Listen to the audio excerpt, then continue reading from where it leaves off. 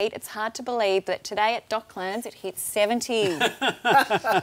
so it did. It did too, and I've got to say that Lavinia and I were absolutely honoured, along with a, a, multitude of other people, friends, family, you name it, uh, to have been here for today's big birthday bash. When you're as much loved as Peter Hitchener, there's little chance of this milestone slipping by unnoticed.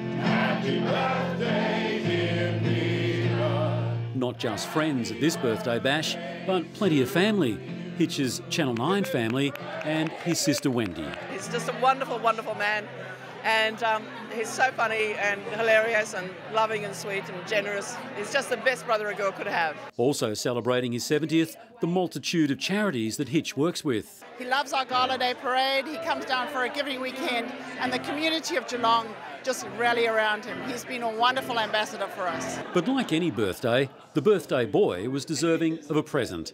And for someone whose composure is his trademark, Hitch was blown away by this gift from the boss. For the first time in this company's history, and from this day forward, the Nine Melbourne newsroom will forever be known as the Peter Hitchener Newsroom.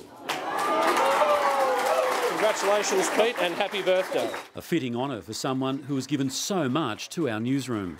I'm the luckiest person in the world because people are always so nice to me, and I thank you so much for that. The people in the room, the people at home who, who watch our news, thank you uh, so much. But behind the most trusted face in TV news, there's a cheeky sense of humour.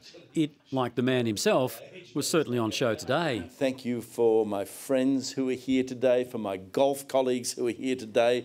We're praying for a miracle and that I might be able to actually shoot lower than my age, but it's not going to happen for about 40 years. Golf isn't Hitch's only sporting passion. He's also a devoted supporter of the Saints, the club gifting him this specially designed jumper. But when it comes to TV news, this bloke is in a league of his own. I remember Hitch when he had hair and I had a future. Yeah, well, we were mates since he joined Channel 9. Must have been about 1975. What a marvellous man he is and will continue to be.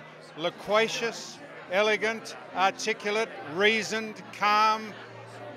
Very, very fine uh, presenter. Given his achievements in television and his endless charity work, Peter Hitchener truly is unforgettable. That's why Peter is incredible. You're someone so unforgettable. And of all the kind words afforded Hitch today, there are none more appropriate than those inscribed on this plaque. The nicest man in television. Tony Jones, Nine News. Thank you, Anthony, and thank you, Lavinia, and the team. Most grateful, thank you. Melbourne, that's what's news this Friday. Stay up to date at 9news.com.au. From all of us, have a wonderful weekend and good night.